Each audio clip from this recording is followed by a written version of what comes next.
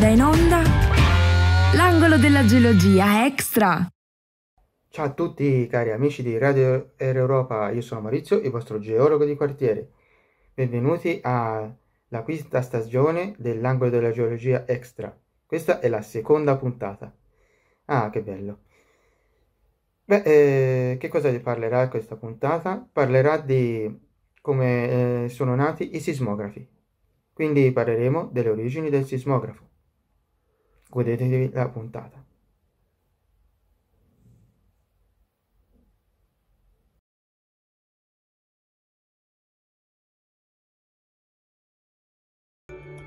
Intanto partiamo con il dire cosa significa la parola sismografo.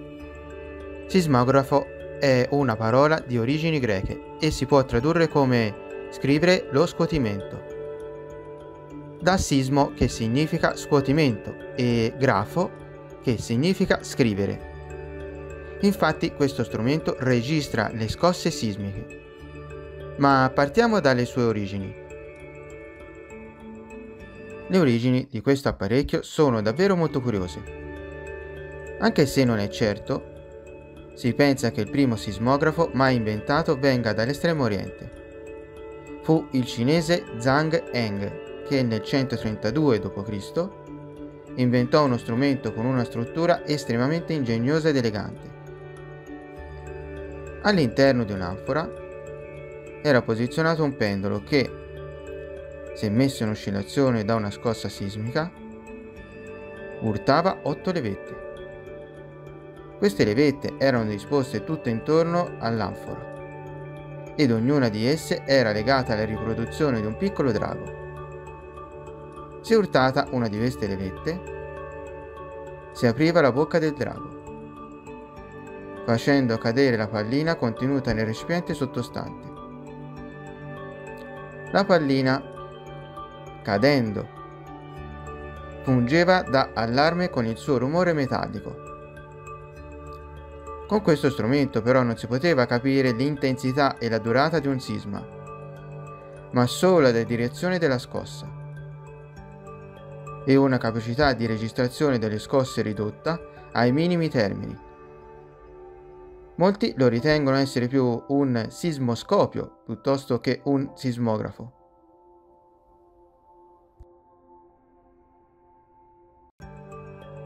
Un altro rudimentale sismografo, ma stavolta a mercurio, fu realizzato da Jean de Hautefeuille un abate francese del 1703.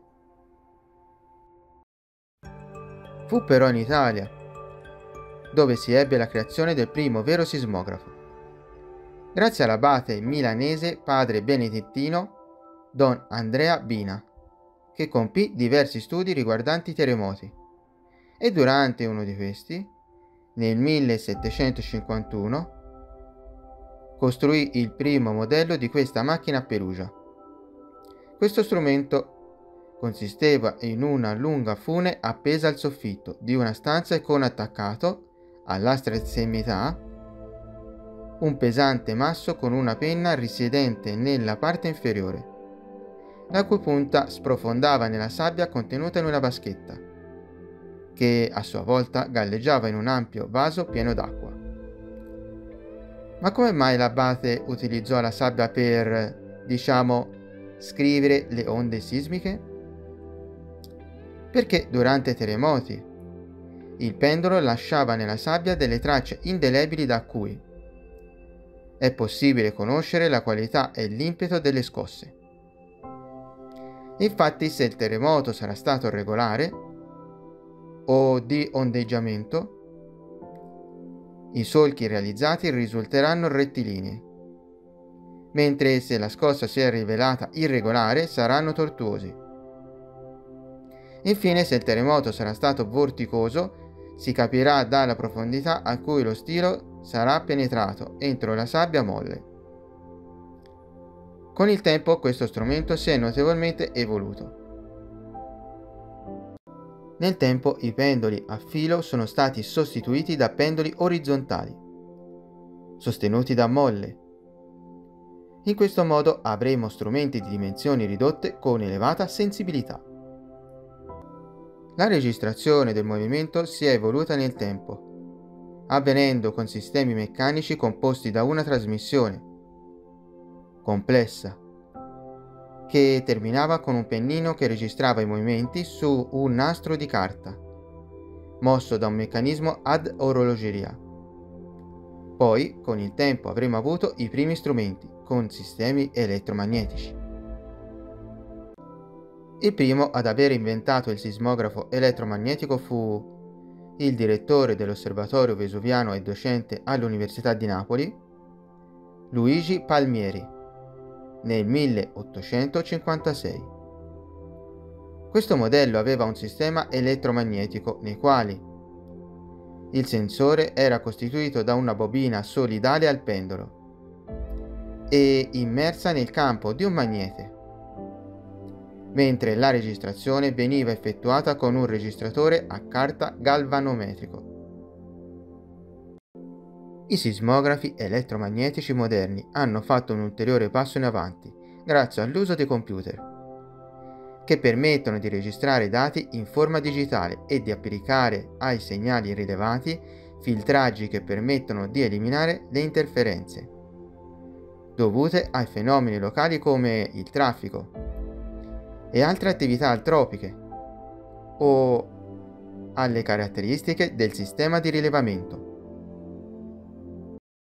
In Italia la principale stazione di rilevamento dei sismi si trova nell'Istituto Nazionale di Geofisica e Vulcanologia, conosciuto anche con l'acronimo di INGV, dove arrivano le rilevazioni di tutte le principali stazioni d'Italia.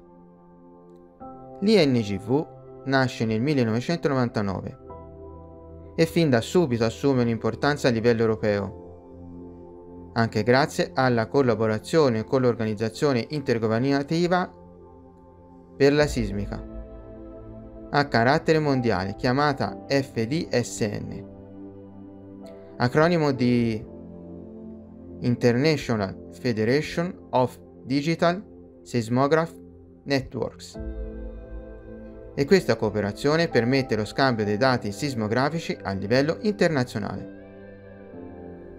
Allora, vi è piaciuto l'episodio? Spero sia stato utile ed interessante come al solito. E come al solito vi invito a iscrivervi al canale di Radio Europa, eh? mi raccomando. Noi ci vediamo a una prossima puntata. Ciao ciao. Stop! Non andate via. C'è una novità che vi attende.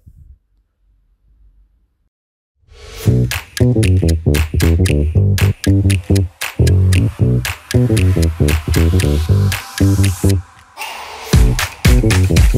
right back.